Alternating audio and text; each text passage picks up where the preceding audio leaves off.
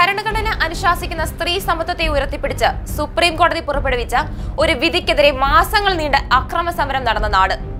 തങ്ങൾ അശുദ്ധരാണെന്നും അശുദ്ധരായി തുടരാൻ അവകാശമുണ്ടെന്നും പറഞ്ഞ് ആയിരക്കണക്കിന് സ്ത്രീകൾ അന്ന് കേരളത്തിൽ തെരുവിലിറങ്ങി.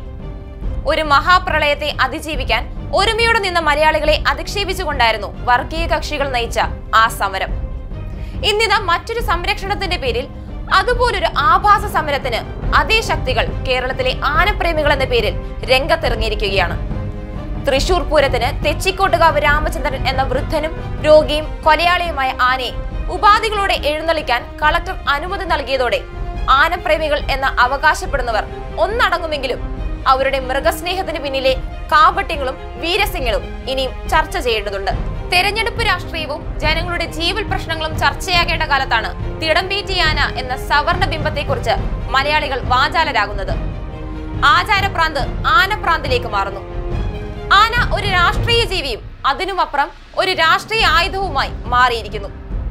ആറു പാപ്പാന്മാരും സ്ത്രീകളും കുട്ടികളുമടക്കം പതിമൂന്ന് പേരെ കൊന്ന തെച്ചിക്കോട്ടുകാവ് രാമചന്ദ്രൻ എന്ന ആനയെ എഴുന്നള്ളിക്കണോ വേണ്ടയോ എന്നതാണ് ചർച്ച.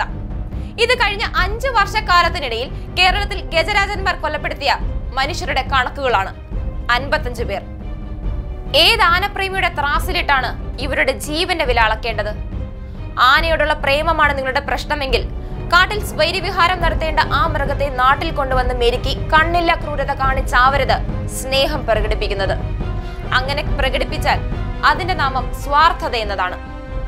ഇനി ആചാരമാണ് നിങ്ങളുടെ പ്രശ്നമെങ്കിൽ ഞങ്ങൾക്ക് ചിലത് ചോദിക്കാനുണ്ട്. ബീഹാറിലെ ഭീർ എന്ന സ്ഥലത്ത് നിന്നും ആയിരത്തി തൊള്ളായിരത്തി എൺപത്തിരണ്ടിൽ കേരളത്തിലോട്ട് കൊണ്ടുവന്ന മോട്ടി പ്രസാദ് എന്ന ആന പിന്നീട് ഗണേശനും തെച്ചിക്കോട്ടുകാവ് രാമചന്ദ്രനുമായത് ഏത് ആചാരത്തിന്റെ പേരിലാണ്?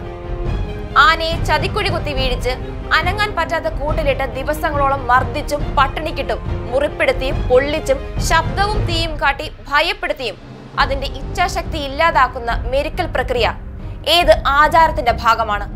തീർന്നില്ല. ചരിത്രം ഒന്നുകൂടി ഓർമ്മിപ്പിക്കാം.